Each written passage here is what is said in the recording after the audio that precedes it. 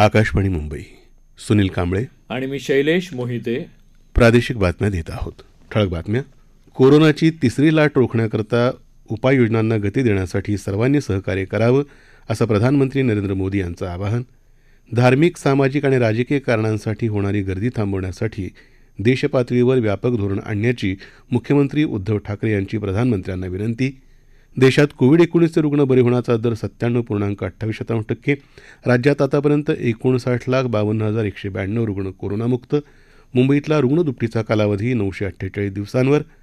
Covid प्रतिबंधक लशीच्या दोन्ही मात्रा घेतल्यावर पंधरा दिवसांनी राज्यात प्रवेश करण्यासाठी आरटीपीसीआर चाचणीच्या निगेटिव्ह चाचणी अहवालाची गरज नाही. महाराष्ट्र राज्य माध्यमिक आणि उच्च माध्यमिक शिक्षण मंडळाच्या इयत्ता दहावीच्या परीक्षेत नव्याण्णव पूर्णांक पंच्याण्णव शतांश टक्के विद्यार्थी उत्तीर्ण. मुंबई ठाणे आणि पालघर परिसरात मुसळधार पाऊस उपनगरीय रेल्वे वाहतुकीवर परिणाम आणि ज्येष्ठ अभिनेत्री सुरेखा सिक्री यांचं निधन. आता ऐकूया बातम्या विस्तारानं. मात्र त्याआधी एक आवाहन. देशभर अठरा वर्षांवरच्या सर्व नागरिकांसाठी मोफत लसीकरण मोहीम सुरू आहे. आमच्या युवा श्रोत्यांना आम्ही आवाहन करतो की त्यांनी लसीकरण करून घ्यावं आणि इतरांनाही त्यासाठी मदत करावी. आणि हो लसीकरण झालं म्हणून निष्काळजी राहू नका. कोविड एकोणीसचा धोका अजून संपलेला नाही. म्हणून कोरोना प्रतिबंधक नियम पाळा. शक्यतो घरीच राहा आवश्यकता असेल तरच घराबाहेर पडा. बाहेर पडताना मुखपट्टी वापरा सुरक्षित अंतर राखा हात वेळोवेळी स्वच्छ धुवा आणि लसीकरण अवश्य करून घ्या. कोरोनाशी संबंधित योग्य माहिती मार्गदर्शन आणि मदतीसाठी राज्याच्या शून्य दोन शून्य दोन सहा एक दोन सात तीन नऊ चार या मदत क्रमांकावर संपर्क साधा. याशिवाय कोविडबाबत प्रश्न विचारण्यासाठी शून्य एक एक दोन तीन नऊ सात आठ शून्य चार सहा किंवा एक शून्य सात पाच या क्रमांकावरही संपर्क करता येईल. आता बातम्या विस्तारानं. कोरोनाची तिसरी लाट रोखण्यासाठी उपाययोजनांना गती देण्याकरता सर्वांनी सहकार्य करावं असं आवाहन प्रधानमंत्री नरेंद्र मोदी यांनी केलं आहे. ते आज कोरोना रुग्णसंख्या जास्त असलेल्या राज्यांच्या मुख्यमंत्र्यांबरोबर दूरदृश्य प्रणालीच्या माध्यमातून बोलत होते. मुख्यमंत्री उद्धव ठाकरे यांच्यासह तामिळनाडू आंध्र प्रदेश कर्नाटक केरळ आणि ओडिसा या राज्यांचे मुख्यमंत्री या बैठकीत सहभागी झाले होते. या राज्यांमध्ये उपचाराधीन रुग्णांची संख्या जास्त असल्याबद्दल त्यांनी चिंता व्यक्त केली. राज्यातल्या नव्यानं आढळणाऱ्या रुग्णांपैकी सुमारे ऐंशी टक्के रुग्ण या राज्यांमधून आढळतात. राज्यांनी मायक्रो कंटेनमेंट झोन्सवर भर दिला पाहिजे. कोरोना संसर्गाची दुसरी लाट ज्या राज्यांमध्ये सर्वप्रथम आली त्या ठिकाणी ती आटोक्यातही लवकर येईल असा अंदाज अभ्यासकांनी वर्तवला होता. मात्र महाराष्ट्र आणि केरळ राज्यात कोरोनाबाधितांच्या संख्येत होणारी वाढ चिंतेची बाब असल्याचं प्रधानमंत्री म्हणाले. चाचणी योग्य उपचार आणि बाधितांच्या संपर्कातल्या लोकांचा शोध यावर भर देणं तसंच अधिक रुग्ण असलेल्या जिल्ह्यांवर लक्ष केंद्रित करणं आवश्यक असल्याचं त्यांनी सांगितलं. अधिक काळ सतत बाधितांच्या संख्येत वाढ होत राहिली तर या विषाणूच्या नव्या प्रकारांचा धोका वाढत असल्याचं तज्ज्ञांचं म्हणणं आहे. त्यामुळे तिसऱ्या लाटेला रोखण्यासाठी प्रभावी उपाययोजना आवश्यक असल्यावर त्यांनी भर दिला. कोरोनाच्या संभाव्य तिसऱ्या लाटेचा मुकाबला करताना वाढणारी गर्दी हे एक मोठं आव्हान आहे. या दृष्टीनं विविध धार्मिक सामाजिक आणि राजकीय कारणांसाठी होणारी गर्दी थांबवण्यासाठी केंद्र सरकारनंच त्याच्या स्तरावरून देशपातळीवर व्यापक धोरण आणावं अशी विनंती मुख्यमंत्री उद्धव ठाकरे यांनी प्रधानमंत्री नरेंद्र मोदी यांना केली आहे. कोरोनाचा सामना करण्यासाठी राज्य सरकारनं उचललेल्या उपाययोजनांची माहिती मुख्यमंत्र्यांनी प्रधानमंत्र्यांना दिली. देशात काल अडतीस लाख अठ्ठ्याहत्तर हजारापेक्षा जास्त नागरिकांनी कोविड प्रतिबंधक लस घेतली. आतापर्यंत या लशींच्या एकोणचाळीस कोटी त्रेपन्न लाखापेक्षा जास्त मात्रा लाभार्थ्यांना दिल्या असल्याचं केंद्रीय आरोग्य मंत्रालयानं सांगितलं. देशात कोविड एकोणीसचे रुग्ण बरे होण्याचा दर सत्त्याण्णव पूर्णांक अठ्ठावीस शतांश टक्के आहे. काल चाळीस हजार सव्वीस रुग्ण बरे झाले अडतीस हजार नऊशे एकोणपन्नास नवे रुग्ण आढळले तर पाचशे बेचाळीस रुग्णांचा मृत्यू झाला. त्यामुळे कोरोनाबळींची एकूण संख्या चार लाख बारा हजार पाचशे एकतीसवर पोहोचली आहे. सध्या देशभरात चार लाख तीस हजार चारशे बावीस रुग्ण उपचाराधीन आहेत. राज्यात कालही बरे झालेल्या रुग्णांपेक्षा नव्यानं आढळलेल्या रुग्णांची संख्या जास्त होती त्यामुळे कोरोनामुक्तीचा दर किंचित खाली आला आहे. काल सात हजार तीनशे एक्क्याण्णव रुग्ण बरे होऊन घरी गेले. आठ हजार दहा नव्या रुग्णांची नोंद झाली तर एकशे सत्तर रुग्णांचा मृत्यू झाला. राज्यात आतापर्यंत एकूण एकसष्ट लाख एकोणनव्वद हजार दोनशे सत्तावन्न जणांना कोरोनाची लागण झाली. त्यापैकी आतापर्यंत एकूण साठ लाख बावन्न हजार एकशे ब्याण्णव रुग्ण बरे झाले. तर एक लाख सव्वीस हजार पाचशे साठ रुग्ण दगावले. सध्या राज्यात एक लाख सात हजार दोनशे पाच ॲक्टिव्ह रुग्ण आहेत. राज्यातलं रुग्ण बरे होण्याचं प्रमाण शहाण्णव पूर्णांक सतरा शतांश टक्के झालं आहे तर मृत्यूदर दोन पूर्णांक चार शतांश टक्के आहे. मुंबईत काल पाचशे पाच रुग्ण बरे झाल्यानं त्यांना रुग्णालयातून घरी पाठवलं. मुंबईत आतापर्यंत सात लाख चार हजार सातशे चौसष्ट रुग्ण कोरोनामुक्त झालेत. काल पाचशे पंचेचाळीस नवीन रुग्णांची नोंद झाली. मुंबईत आतापर्यंत रुग्णांची संख्या सात लाख एकोणतीस हजार दोनशे पन्नास झाली असून मुंबईतला रुग्णदुप्पीचा कालावधी नऊशे अठ्ठेचाळीस दिवसांवर आला आहे मुंबईतला रुग्ण बरे होण्याचा दर शहाण्णव टक्के आहे. ज्यांनी कोविड प्रतिबंधक लशीच्या दोन्ही मात्रा घेतल्या असतील आणि त्यावर पंधरा दिवसांचा अवधी लोटला असेल त्यांना आता राज्यात प्रवेश करण्यासाठी R T P C R चाचणीचा निगेटिव्ह अहवाल सादर करण्याची गरज राहणार नाही. मात्र अशा व्यक्तींकडे केंद्र सरकारच्या कोविन पोर्टलवरून प्राप्त केलेलं अधिकृत प्रमाणपत्र असणं बंधनकारक आहे असे आदेश मुख्य सचिव सीताराम कुंटे यांनी जारी केले आहेत. देशांतर्गत तसंच आंतरराष्ट्रीय प्रवाशांनाही ही सूट लागू असेल असं या आदेशात स्पष्ट केलं आहे. इतर सर्व नागरिकांसाठी R T P C R चाचणीच्या वैधतेचा काळ अठ्ठेचाळीस तासांवरून वाढवून बहात्तर तास इतका केला असल्याचं राज्य शासनाच्या प्रसिद्धीपत्रकात म्हटलं आहे. कोरोना महामारीच्या पहिल्या आणि दुसऱ्या लाटेत धुळ्यातल्या जवाहर फाउंडेशनचं वैद्यकीय महाविद्यालय आणि रुग्णालय कोरोनाबाधितांच्या उपचारासाठी पुढं आलं. गरीब गरजू रुग्णांना परवडेल अशा कमी दरात रुग्णालयानं उच्च प्रतीचे उपचार दिले. याविषयी अधिष्ठाता डॉक्टर विजय पाटील यांनी आकाशवाणीला अधिक माहिती दिली.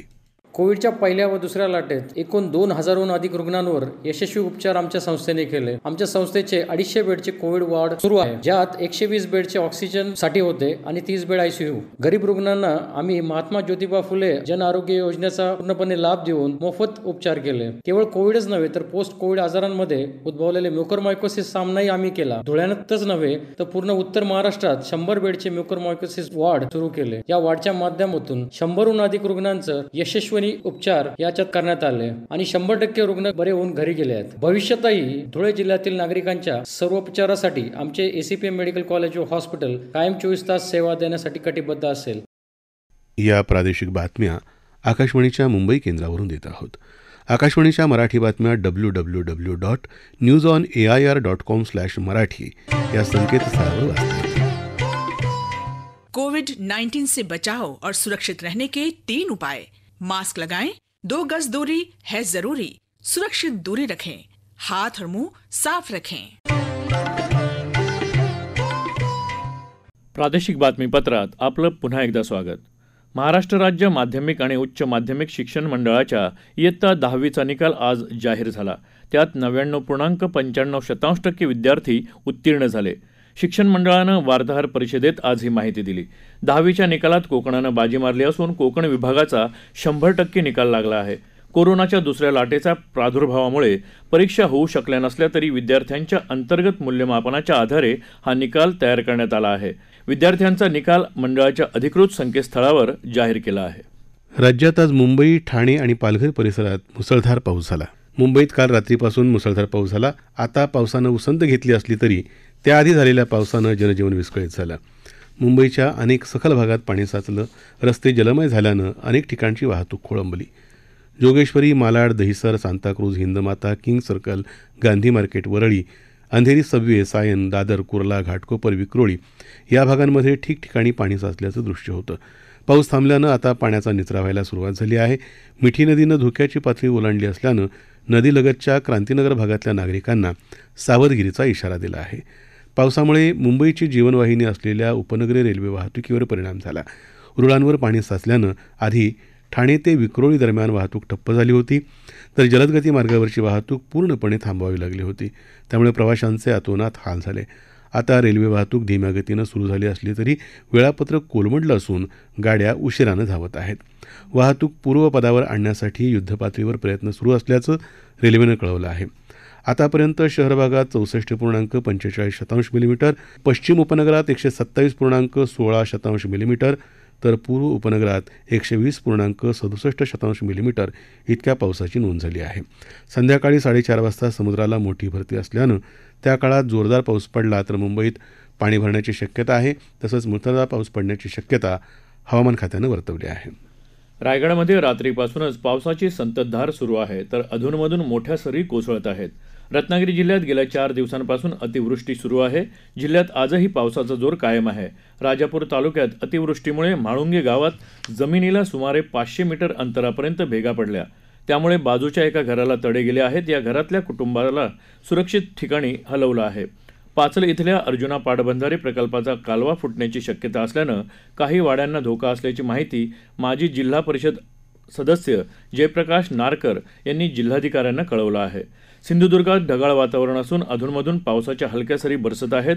बुलडाणा जिल्ह्यात काल संध्याकाळी जोरदार पाऊस झाला. पावसामुळे साखरखेर्डा जवळच्या जांबुवंती नदीला पूर आला होता. त्यामुळे लव्हाळा साखरखेर्डा दुसरी बीड काही मार्ग काळासाठी बंद होता. उस्मानाबादमध्ये आणि अकोल्यात काल रात्री पावसाच्या हलक्या सरी बरसल्या. तिथे आज सकाळपासून ढगाळ वातावरण आहे. नांदेड शहरालगतच्या डॉक्टर शंकरराव चव्हाण विष्णुपुरी प्रकल्पाचा एक दरवाजा आज सकाळी सव्वा पाच वाजता उघडला. या दरवाजातून गोदावरी नदीपात्रात सोळा हजार सहाशे बत्तीस क्युसेक पाण्याचा विसर्ग सुरू आहे. ज्येष्ठ अभिनेत्री सुरेखा सिक्री यांचं आज सकाळी मुंबईत हृदयविकाराच्या झटक्यानं निधन झालं. त्या पंच्याहत्तर वर्षांच्या होत्या. एन एस डी अर्थात राष्ट्रीय नाट्यशाळेत अभिनयाचं शिक्षण घेतल्यानंतर त्यांनी अभिनयाची कारकीर्द सुरू केली. तमस ममो बधाई हो इत्यादी चित्रपटांमध्ये त्यांनी काम केलं. बालिकावधू या दूरचित्रवाणी मालिकेतल्या भूमिकेमुळे त्या घरोघरी पोचल्या. त्यांना तीन वेळा अभिनयाचा राष्ट्रीय पुरस्कार मिळाला होता. संगीत नाटक अकादमी पुरस्कारानंही त्यांना सन्मानित करण्यात आलं होतं. राज्यातल्या भटक्या विमुक्तांचं स्वतंत्र सामाजिक आर्थिक सर्वेक्षण लवकरच करून या समाजाच्या सामाजिक आर्थिक आणि शैक्षणिक विकासाकरता महत्त्वपूर्ण निर्णय घेणार असल्याचं इतर मागास बहुजन कल्याण विभाग मंत्री विजय वडेट्टीवार यांनी सांगितलं. ते काल मंत्रालयात भटके विमुक्त हक्क परिषदेच्या सदस्यांच्या बैठकीत बोलत होते. भटक्या विमुक्त जाती जमातीचे अनेक प्रश्न आहेत ते सोडवण्याच्या दृष्टीनं त्यांचं सामाजिक आणि आर्थिक सर्वेक्षण घरोघरी जाऊन होणं गरजेचं आहे. केंद्रीय सामाजिक न्याय विभागानंही सर्व राज्यांच्या मुख्य सचिवांना तशा सूचना दिल्या आहेत. त्यासाठी इतर मागासवर्ग विभागानं कार्यवाही करून घ्यावी. या सर्वेक्षणासाठी लागणाऱ्या बाबींचा अंदाजपत्रकात समावेश करून तसा प्रस्ताव केंद्र शासनाला पाठवून निधी उपलब्ध करून घ्यावा अशा सूचनाही वडेट्टीवार यांनी दिल्या आहेत. भटक्या विमुक्तांना जातीचे दाखले मिळवताना येणाऱ्या अडचणी दूर करण्यासाठी दोन हजार आठचा शासन निर्णय पुनर्जीवित करणार असल्याची ग्वाही त्यांनी दिली. पूर्व द्रुतगती मार्गावर ठाण्यातल्या ज्ञानसाधना महाविद्यालयाजवळ आज पहाटे सव्वा दोनच्या सुमाराला टोमॅटो घेऊन जाणारा ट्रक उलटला. उलटलेल्या ट्रकमधला वीस टन टोमॅटो रस्त्यावर पडला. ट्रक आणि टोमॅटोच्या खचामुळे मुंबई आणि नाशिक या मार्गावरची वाहतूक चार ते पाच तास खोळंबली. मुंबई तसंच नाशिक अशा दोन्ही बाजूंनी येणाऱ्या वाहनांच्या लांबच लांब रांगा होत्या. ट्रक आणि टोमॅटो रस्त्यावरून एका बाजूला केल्यानंतर सकाळी आठच्या सुमाराला वाहतूक हळूहळू सुरळीत झाली. यामध्ये ट्रक चालक जखमी झाला आहे. त्याला जवळच्या रुग्णालयात दाखल केलं असल्याची माहिती महापालिका प्रादेशिक आपत्ती व्यवस्थापन विभागानं दिली. ठळक बातम्या पुन्हा एकदा. कोरोनाची तिसरी लाट रोखण्यासाठी उपाययोजनांना गती देण्याकरता सर्वांनी सहकार्य करावं असं प्रधानमंत्री नरेंद्र मोदी यांचं आवाहन धार्मिक सामाजिक आणि राजकीय कारणांसाठी होणारी गर्दी थांबवण्यासाठी देशपातळीवर व्यापक धोरण आणण्याची मुख्यमंत्री उद्धव ठाकरे यांची प्रधानमंत्र्यांना विनंती. देशात कोविड एकोणीसचे रुग्ण बरे होण्याचा दर सत्त्याण्णव पूर्णांक अठ्ठावीस शतांश टक्के राज्यात आतापर्यंत एकोणसाठ लाख बावन्न हजार एकशे ब्याण्णव रुग्ण कोरोनामुक्त. मुंबईतला रुग्ण दुपटीचा कालावधी नऊशे अठ्ठेचाळीस दिवसांवर. कोविड प्रतिबंधक लशीच्या दोन्ही मात्रा घेतल्यावर पंधरा दिवसांनी राज्यात प्रवेश करण्यासाठी आरटीपीसीआर चाचणीच्या निगेटिव्ह अहवालाची गरज नाही. महाराष्ट्र राज्य माध्यमिक आणि उच्च माध्यमिक शिक्षण मंडळाच्या इयत्ता दहावीच्या परीक्षेत नव्याण्णव पूर्णांक पंच्याण्णव शतांश टक्के विद्यार्थी उत्तीर्ण. मुंबई ठाणे आणि पालघर परिसरात मुसळधार पाऊस उपनगरीय रेल्वे वाहतुकीवर परिणाम. आणि ज्येष्ठ अभिनेत्री सुरेखा सिक्री यांचं निधन. याबरोबरच हे प्रादेशिक बातमीपत्र संपलं. नमस्कार. नमस्कार.